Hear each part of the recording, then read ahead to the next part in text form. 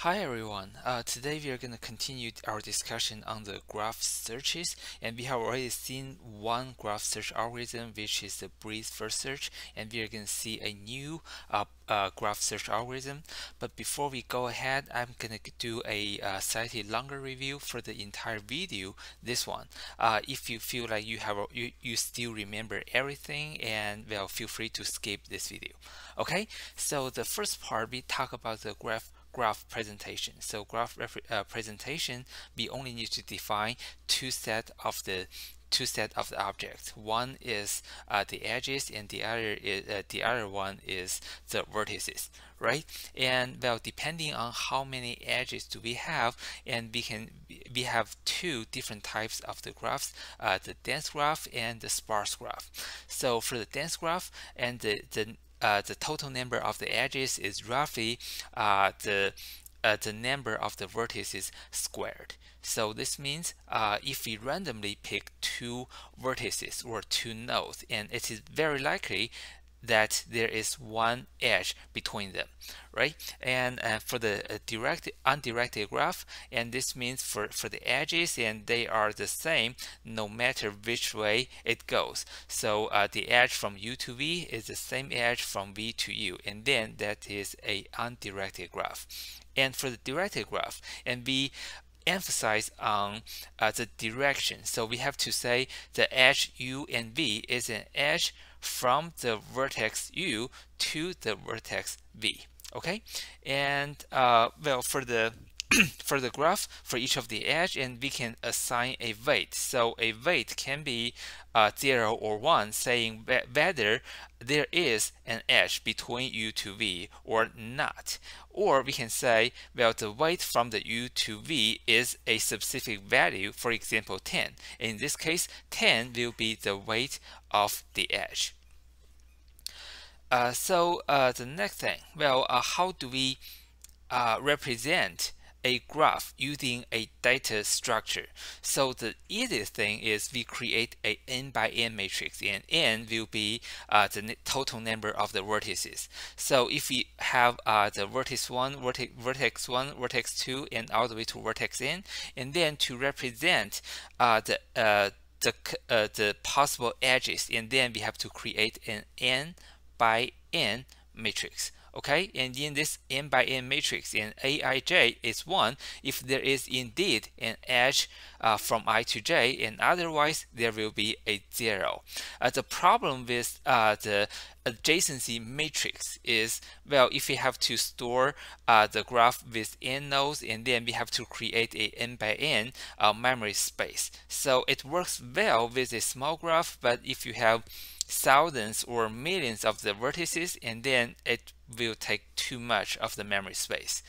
Uh, oops.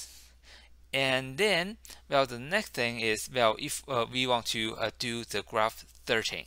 So for the graph searching, actually we want to achieve two different goals at the same time. And the goal one is we want to explore uh, every vertices and then uh, and every edge. So this is the first goal. And the second goal is, well, we also want to create a tree structure. So we want to keep some, uh, we want to keep definitely all the nodes but we don't want to keep all the edges. We want to pick part of the edges and then we want to create a a tree structure.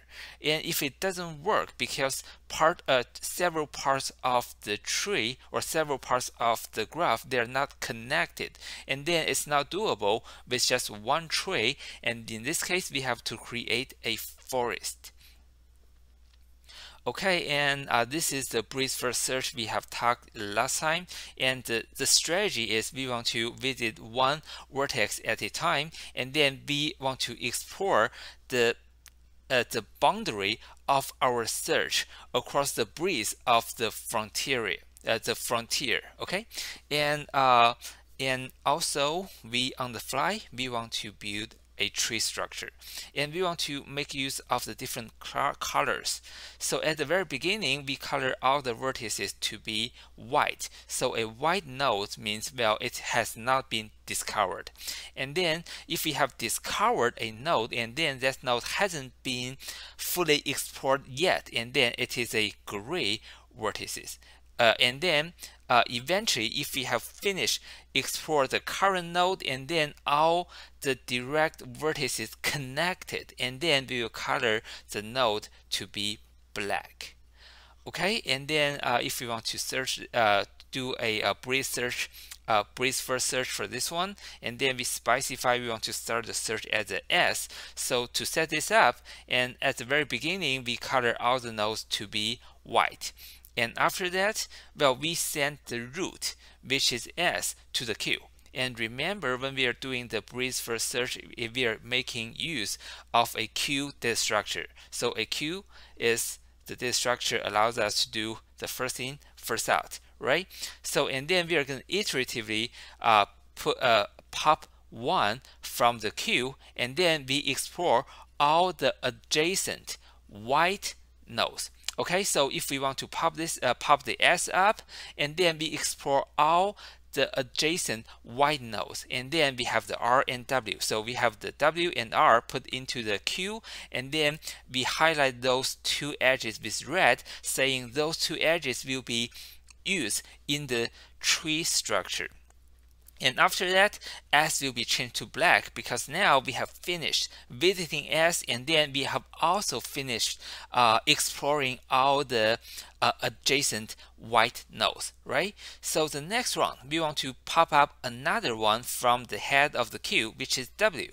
So we pop up W and then for the two uh, adjacent white nodes, which are T and X, we add them to the queue. And then after that, we have export all the adjacent white nodes of W, and then we say, okay, W can be black now.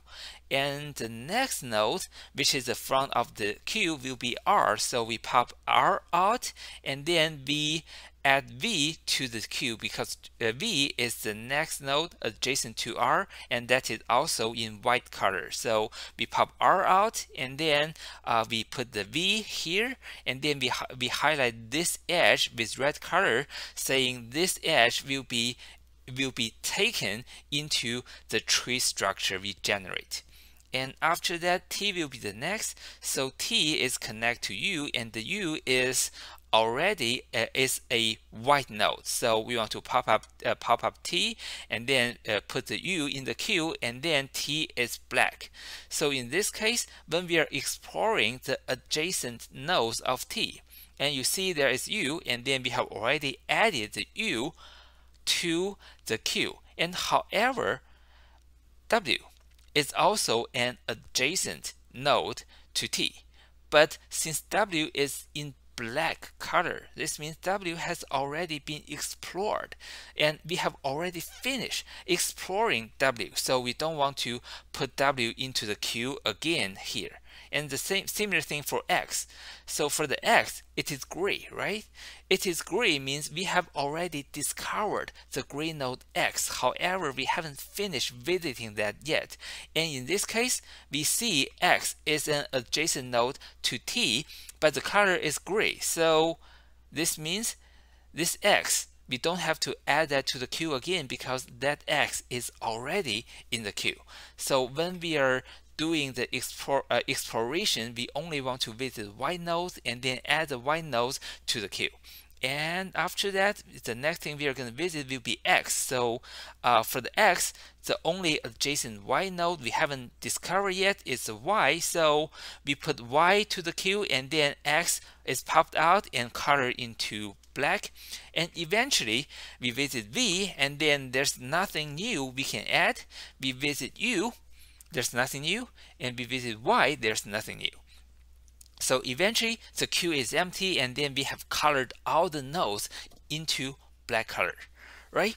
Okay, and for the uh, for the breadth first search, uh, well it uh, well instead of uh, well it it help us to visit all the edges and all the nodes and then it also generates a, a tree structure for us. But in addition, breadth first node uh, breadth first search will calculate the shortest path distance from any node to the source node. And for the source node, node and that is just the uh, the tr uh, the tree root, right? So well, uh, for any node, and for example, like this y, so it's uh, there there is a three here.